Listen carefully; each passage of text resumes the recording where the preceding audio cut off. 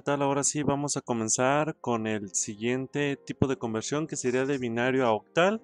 Y de binario octal es la misma forma de binario hexadecimal. ¿Cómo se realiza esto? Aquí tenemos una pequeña tabla con los diferentes valores en binario 000, 001, 010, 011, 011, 100, 101, 110 y 3 unos.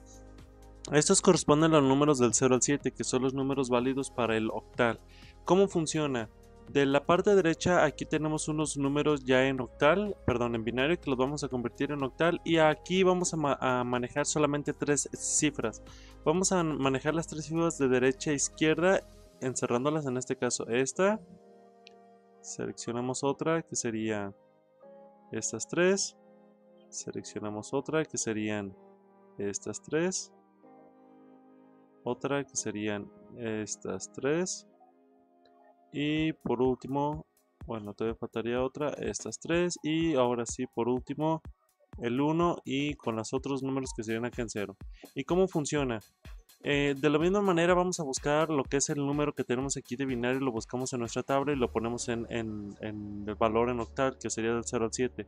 En este caso tenemos el 100, que si lo buscamos en la tabla tenemos el número 4. Aquí es el 4. 011, que sería el número 3. 110 sería el número 6. 101 sería el número 5. El valor 001 sería el valor de 1. Y por último, el valor, aquí no lo tenemos, pero podemos poner 001 para completar los tres dígitos, que sería el valor de 1. Por lo tanto, el número que tenemos arriba en octal sería 115634. De la misma manera, continuando con lo que son los números que tenemos aquí abajo, otra conversión sería 010 que sería el primer dígito, los primeros tres dígitos, otros tres dígitos que tenemos acá, otros tres dígitos que serían estos, otros tres dígitos serían estos que tenemos aquí, y por último los últimos tres dígitos que tenemos aquí de binario que los vamos a convertir en octal.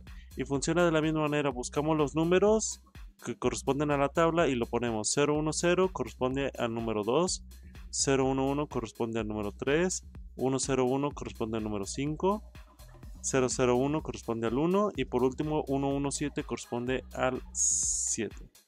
En este caso entonces tenemos el número binario que tenemos aquí arriba y en octal sería el 71532. La forma de cambiar esto es de la misma manera que buscamos los números en nuestra tabla, lo agrupamos por tres cifras y lo convertimos a nuestro sistema octal.